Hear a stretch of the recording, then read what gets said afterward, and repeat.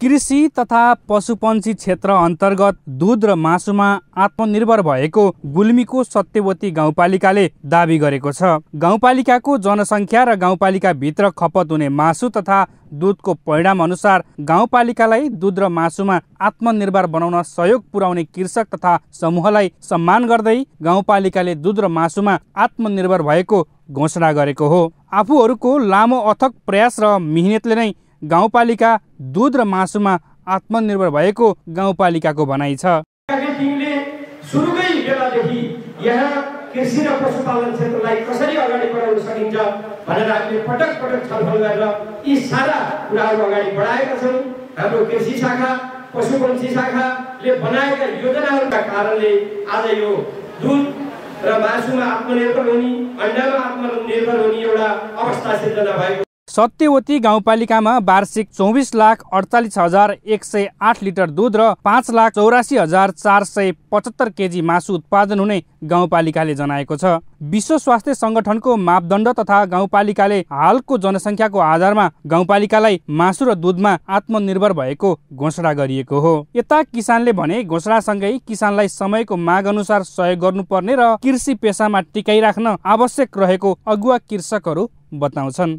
यो सत्यवती गाउँपालिका आत्मनिर्भर भयो भन्दा पनि निरन्तर यो आत्मनिर्भरताको अवस्थामा रहन्छ या रहन्न यस पेसामा लागेका किसानहरू दीर्घकालसम्म यो पेसामा आश्रित हुन्छन् हुन्नन् भन्ने प्रश्न हो। म सत्र वर्ष अगाडिदेखि कृषि गर्दै आएँ तर मसँगै थालेका कैयौँ साथीहरू पलायन हुनुभयो।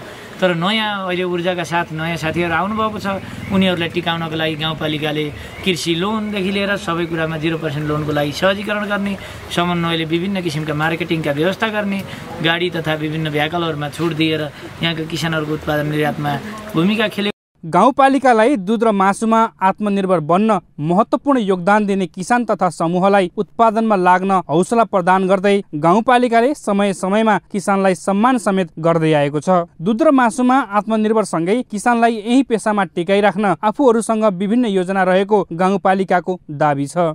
हालको अवस्था हेर्दाखेरि सत्यवती गाउँपालिका आत्मनिर्भर भएको घोषणा गरिएको हो। यद्यपि घोषणालाई निरन्तर गर्नु अलिक चुनौतीपूर्ण कुरा हो। हामी यो कुराको निरन्तर गर्न र यसलाई निर्यातमुखी सत्यवती बनाउन सक्षम छौँ किनभने हामीले व्यवस्थित रूपमा समूहहरू फर्महरू हामीले सञ्चालन गरिरहेका छौँ र ती समूह र फर्म मार्फत उत्पादित चिजलाई सहकारी मार्फत बजारीकरण गर्ने र बजारीकरणलाई व्यवस्थित बजारीकरण गर्ने र त्यो बजार उत्पादनमा आधारित प्रोत्साहन जस्ता क्रियाकलापहरू र उत्पादन लागत कम गर्नका लागि थप सहयोगहरू गरेर हामी यसको दिगो बजारीकरण र निरन्तरताको लागि प्रयास गर्नेछौँ। पक्कै पनि युवाहरूको जोस जाँगर र मिहिनेतले सत्यवती गाउँपालिका दुध र मासुमा आत्मनिर्भर बनेको छ भने किसानहरूलाई कृषि व्यवसायमा टिकाइराख्न गाउँपालिकाले समय अनुकूल कृषि कार्यक्रम ल्याउन पनि आवश्यक छ। राज्य खबरका लागि गुल्मीबाट डिबी खड्काको रिपोर्ट।